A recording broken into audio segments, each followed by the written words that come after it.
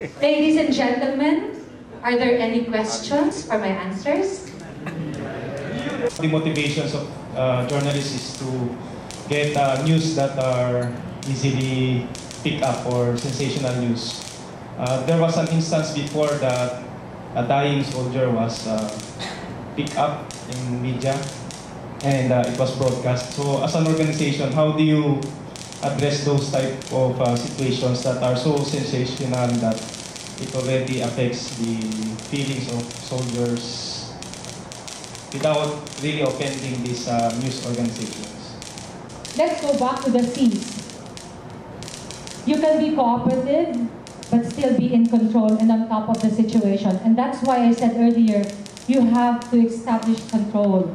How do you establish control? You set parameters, you set limits. There is nothing wrong with informing the media and briefing them that these types of coverage are unacceptable. And the reasons are this, and this, and this. And you should make them understand why not covering certain events, like the death of a soldier, being shamelessly uh, broadcast as if something to feast on, should not be brought out uh, in the news. And make sure that uh, you are able to emphasize that this is not only for the personal interest of the family, but actually for the interest of the entire nation. Because the entire nation's uh, safety and security depend on our uniformed men. And we want our uniformed men to always have that high morale. And we do not want anything that will bring, bring it down.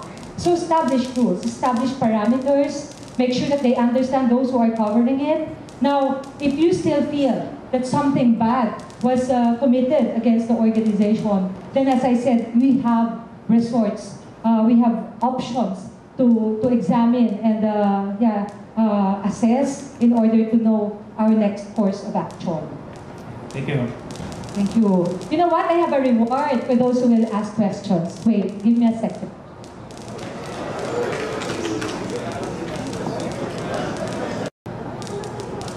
Just a remembrance from Gina.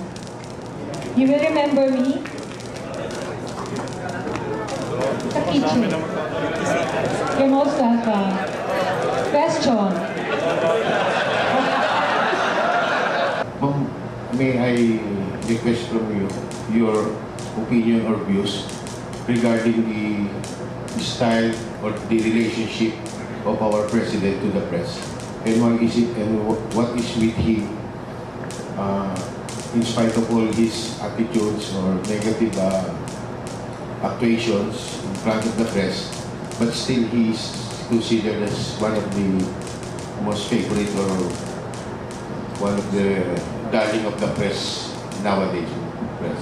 If I am going to answer that as a media person, what I will say to you is, you're asking a personal opinion from me. And it is not appropriate for my personal opinion to enter this conversation. Because, can you imagine what these gentlemen and ladies will think? I'm sure they have their own opinions. No, I'm joking. I'm going to answer it. You know why? Because, without necessarily revealing my personal uh, liking, the president, I think, is a whiff of fresh air. He's very blatant, he's very honest, too honest, in fact, that uh, people just find it refreshing, being so used to, to lies. See, I told you, never lie. So people prefer that it be given out straight to them, no matter how hard and how painful it is sometimes to accept. This is the truth. This is how I see it. And that's my opinion. He's entitled to his opinion. And so they love him for it. They love him for it. And even in the United States, you would see that with Donald Trump. Saying things as they are without necessary, without sugarcoating anything. It's, it's just a whiff of fresh air. And in this day of social media, we know for a fact that comments are actually without limits. And maybe millennials and young people find it so different that here is somebody who is in his 70s, but who is acting and behaving as if he were a millennial. Walang preno, walang pigil, walang control. So I think that's the reason his popularity is still up there with the media. We're, we cannot say that for certain because we have not done a real survey. Remember that media persons do not promote the agenda of anyone. They're just out there to, to do their job. Next. Oh, your, your uh, koala. I have so many.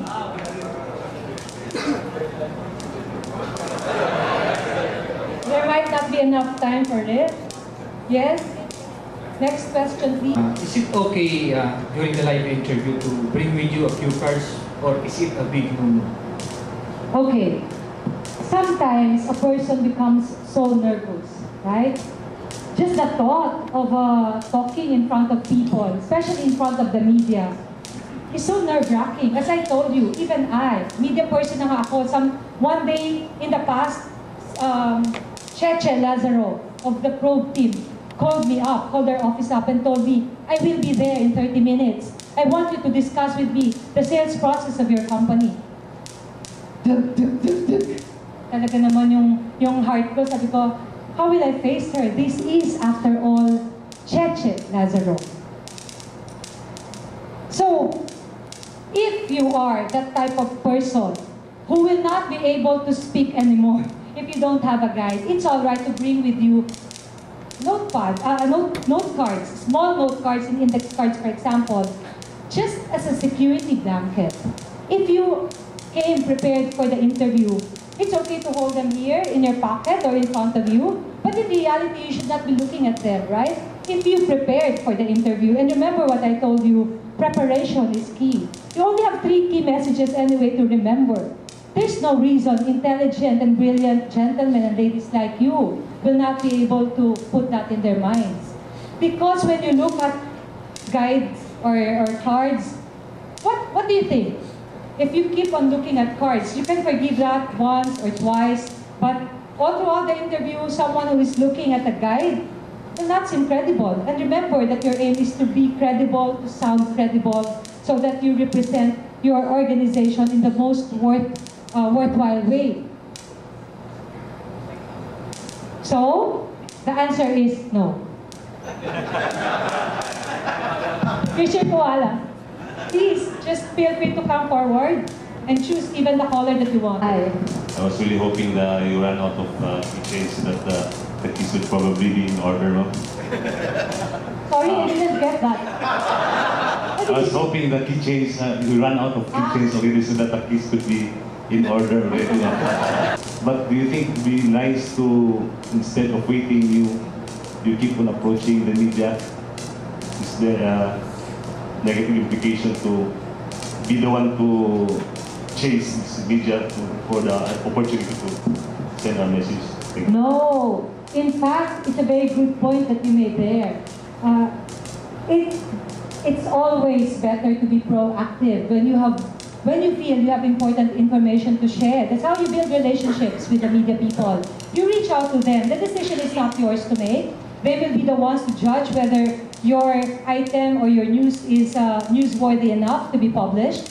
But the fact that you're reaching out to them already establishes a bridge between you and the media. So that in the future, when they are in need of information, they already have marked you as someone who is cooperative, someone who's willing to help, someone who's willing to assist in any way. So yes, be proactive. And as I said, it's always best to build a relationship the, with the media when there's no crisis yet that has struck. And so, in answer to your question, be proactive. There's nothing wrong with chasing the media. We used to do that. Sometimes they will print our stories, sometimes they will not. But it's okay. It's like practice on your part. Practice on your key message points. Practice on what is what it is that attracts them. What it is that they consider as newsworthy. Thank you. Thank you. Most welcome. Uh, I believe that the media is an integral part of the society. But uh, why is it that most of their focus are on violence, tragedy? Most of the days they are uh, giving news about this uh, instead of uh, value formation uh, subjects. Why are the media focusing much on this uh, uh, violence? It is a sad reality, but, but that is what sells. These, after all, are still businesses. Just consider what has happened to Inquirer. Inquirer has uh, recently been bought by San Miguel Corporation, right? And um, so, many, so many people in social media, in Facebook, have voiced out regret that Inquirer allowed itself to be bought by a private uh, organization like San Miguel, which of course we know as one of the top corporations in the Philippines, but which also has implications on the stand now of the Inquirer as an independent and uh, yeah, autonomous uh, news organization. But you know what? Somebody, an editor from Inquirer, responded to all the comments in social media and said, when was the last time you bought a printed copy of the Inquirer? When was the last time you even checked out the digital copy of the Inquirer? When was the last time you sought out credible news writers?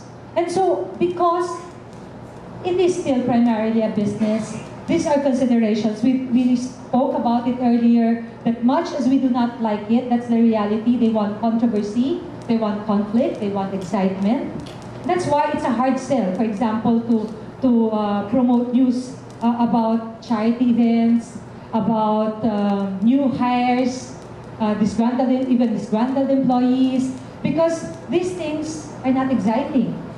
And that is why there is actually the ideal is to produce a whole new generation of media people who will be keen to promote value. No matter, no matter how good you are, it will be difficult for you to penetrate if there's a rule that says only those who are able to build their names from being a reporter, yung natutong habulin ng aso in search and in, in, in pursuit of the news, will be respectable and respected enough to be airing out or, or reading the news, then it will be hard.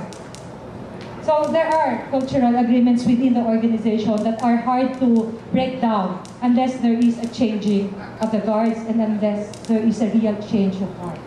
To really professionalize it. How about the uh, ethics in media? We have uh, ethics in media because we in the military, we uh, follow ethics. We, and that's what I'm, uh, I would like to hear from you. And that brings me to my second question is, what is the, in the context of freedom of the press, because that is what uh, school is involving.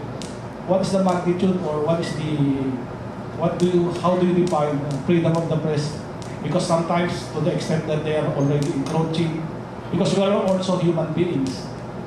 So, uh, in some, just like we are fighting an unconventional war, we in the military have conventions, the laws, the parameters, but on the other side of the fence, it seems that they have no uh, really. Thank you. Okay. We, in UP at least, had a full course on ethics in journalism. We all know that, yes, uh, we have been taught these things. But again, sad, sad thing to say is not everyone practices what he is taught or what he has learned. Remember tomorrow what is supposed to be done when faced with, with difficult questions. But then, ethics, I believe, it's even commonsensical. Uh, you have a gut feel for what is right, you have a gut feel for what is wrong. The question is, do you allow yourself to be tempted the other way? Because there is always a price. There is always a price uh, in the opposite or direction of ethics. And so, yes, there are there is ethics, but not everyone practices it. Just like in your organization, I'm sure there are the majority are law-abiding, disciplined, worthwhile soldiers in uniform. But then what gets highlighted are those that are rotten and those who are not abiding by the ethics that was taught to them. Sorry, the second question. What is the magnitude of uh, freedom of the press? Okay. I think freedom of the press has evolved now with uh, in the age of social and digital media when everyone can be a reporter. In fact, you need to be more careful now with what you say verbally, what you forward through your emails, because even a friend of yours or even just somebody sitting beside you can already be a citizen reporter. And we have seen this evolve in so many ways. Not only do uh, established broadcast stations and newspapers already have their own citizen agents who are acting like reporters and who are free to submit to them anything they, they catch.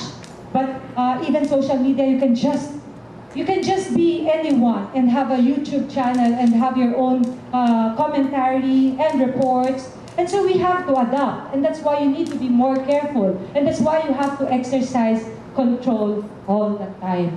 And uh, these are things not easy to implement, but something that you can, you can do if you brainstorm among yourselves and uh, yeah, establish controls. Thank you, ma'am, and see you in Australia. Ah, are you going there?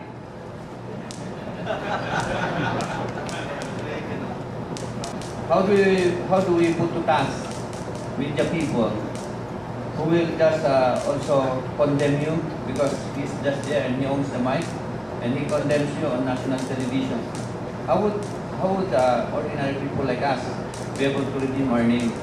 First of all, if it's any consolation, not all, uh, not all people believe uh, every single broadcaster who is out there. I think people are wise enough and intelligent enough to uh, pick those who are credible and those who are not. Now, there are reputations that can be tarnished. Uh, we all know it's the hardest thing to rebuild. But if you build your relationship and if you build the strength of your reputation before any crisis strikes, as I said earlier, then you have much to bank on. Again, it might be unfair, but you always have courses of action to take. You can call uh, the studio and ask for your fair share of time. Now, if uh, that is not that that is not given uh, uh, priority, you can reach out to other media organizations who might be more sympathetic, not to your cause, but uh, to the fairness that should be um, practiced by media. There are certain occasions when no matter how much you do, no matter how good you are, you will still not get a fair share or a fair, um, yeah, a fair share in media, and because that is not fair. And that's why you will just have to do your part to control the messages that you send out there, to, to control the situation as much as you can control it, do the best that you can, and hope that you are building enough goodwill so that later on, no matter what is said against you, people would naturally side with you. People would naturally believe in you. It's, it's hard, it's difficult, but it can be done. Uh, one of the reasons uh, why we always hear or say there's this continuing love-hate relationship between us and the media is that uh, sometimes uh, because of the media's uh, uh, claim that it's the responsibility to to inform the people, we think sometimes they have become unwitting conduit to the messages sent out by terrorist groups or simply uh, these resistant forces. Ma'am. Uh, is it proper or or probably how can we do we supposed to tell the media that uh, uh, they are already carrying the message of let's say the terrorist groups or the threat groups that are challenging the government? Okay. First of all, I would like to agree that the media are the conduit of, of any party. In fact, when you're talking to a reporter, he becomes your conduit to the, the people that you want to reach. Yes. And that's the same, and that's true for the other side as well. Remember, reporters are people. Reporters have biases. Reporters have their beliefs. And so you have to contend with that belief as well. If you believe, if you feel that uh, certain sectors of the media have been penetrated by terrorist groups, for example, or are being unwittingly. There's a question there. Are they intentionally doing it, or are they just plainly ignorant and being unwittingly used? Then you have to be proactive and counter, counter, do your counter offense. If you think the other party is getting to be more successful in their brainwashing or their brainstorming, then maybe just maybe a regular interaction with the media, a regular um, yeah meetings with them would plant the seeds that would in, inculcate in their minds your side of the story, so that later on, you know these are people. Pakikisama nila, Pilipino ka, Filipino din sila. If you are able to make them see the light of what you are doing, and how this will benefit the, the greater Philippine society, then those who are untainted, those who are still true and honest in their profession, in the exercise of their profession, cannot help but be swayed by you. Now, if they cannot, then that's a different story altogether. That means, yes, the terrorist group, other unsavory parties were able to tap certain media people to for their cause. And even abroad, that's that's similar. You can see that in the, the twist or, or the leaning of the stories being presented. Thank you. Kanina, binanggit ni Colonel Luna. Taga Bulacan ako. Buti binanggit niya.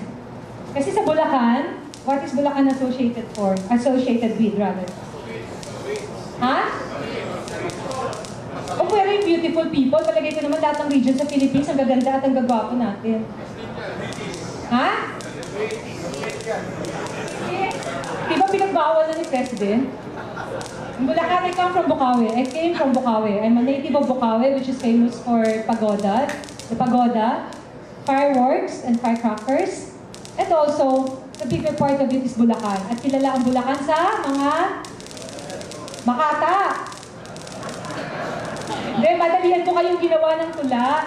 On my way here, when I was riding my Uber cab, hindi ko alam kung mababasa to, kasi malapit na rin ang mata ko. Okay. Ah. Bago ko tapusin ang lecture at wakasan ang umagang ito, bayaan niyong mag-iwan ng tula para sa inyo, Class 62. Lubha akong nagagalak sapagkat kayo'y nakasama. Di ko kayo malilimot sapagkat kayo ang nauna. Hangad ko na sa madaling panahon, kayong lahat ay maging mga general. Tagumpay niyo't karangalan, iyan ang aking magiging dasal.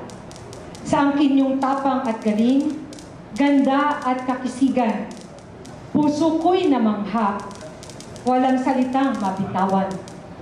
Bilang pasasalamat, bayaan na lamang na ako ay mag-alay ng isang saludo. Tapat kong paghanga ang taglay. Paalam sa inyo hanggang sa muling pagkikita, kapag naharap sa media, ako sana ang inyong maalala. Salamat.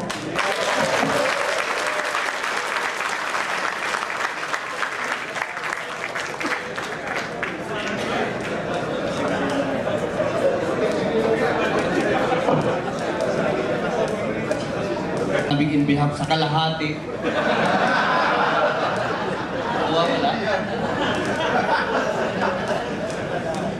Uh, in behalf of the Commander AFP ETDC, General Aquino, and the Commandant uh, AFP CGSC, Colonel Balestrina, we would like to thank you from the bottom of our hearts and also behalf of the CGSC classes to all other officers of the command. Uh, we would like to present a simple memento, foldable refriger- refrigerator with block. Just kidding. Just a simple memento.